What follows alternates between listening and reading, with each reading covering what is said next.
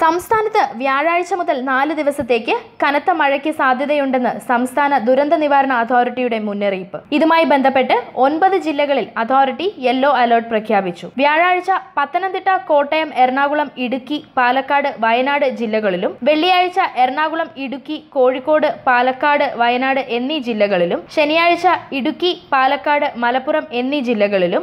ഞായറാഴ്ച പത്തനംതിട്ട ഇടുക്കി മലപ്പുറം കോഴിക്കോട് ജില്ലകളിലുമാണ് മുന്നറിയിപ്പ് പ്രഖ്യാപിച്ചിട്ടുള്ളത് ഈ ദിവസങ്ങളിൽ അറുപത്തിനാല് ദശാംശം നാല് മുതൽ നൂറ്റി ഇരുപത്തിനാല് ദശാംശം നാല് മില്ലിമീറ്റർ വരെ മഴയുണ്ടാകുമെന്നാണ് മുന്നറിയിപ്പിൽ പറയുന്നത് ഉരുൾപൊട്ടൽ സാധ്യതയുള്ള പ്രദേശങ്ങളിലും വെള്ളപ്പൊക്ക സാധ്യതയുള്ള പ്രദേശങ്ങളിലും ഏത് സാഹചര്യവും നേരിടാൻ ഉദ്യോഗസ്ഥർ തയ്യാറായിരിക്കണമെന്നും തുടർച്ചയായി മഴ ലഭിച്ചതിനാൽ